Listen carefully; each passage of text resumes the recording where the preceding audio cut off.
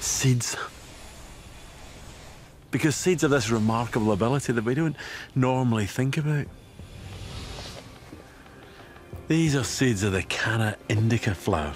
And this, this is an empty shotgun cartridge. I'm going to pack the seeds in where the lead pellets would have been.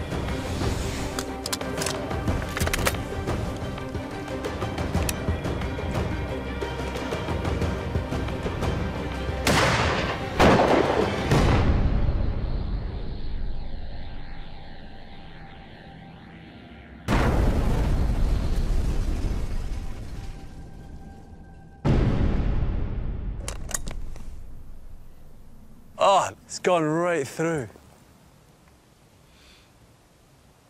Look at that. That looks perfectly intact. the story goes that during the Indian Mutiny of the 19th century, soldiers used these seeds instead of lead shot.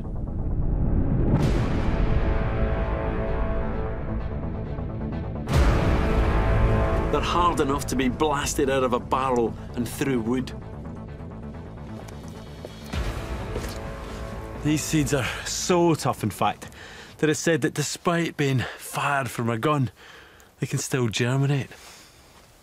Sounds unlikely, I know, though we'll see. But a tough shell wasn't all because seeds from flowering plants developed a further evolutionary advantage that no other plant possessed.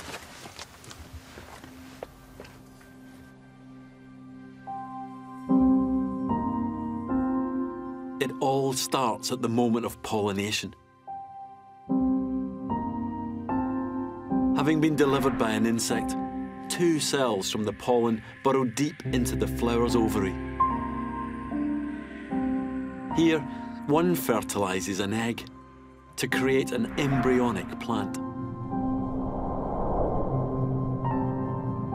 But, and here's the clever bit, the second cell from the pollen does a completely different job.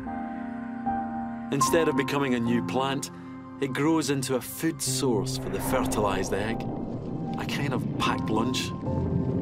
It's called double fertilization and it's unique to the seeds of flowers.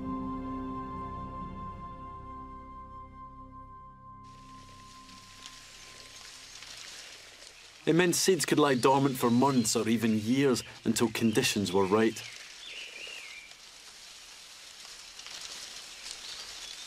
As for my Canna indica seeds, well, this is how they fared.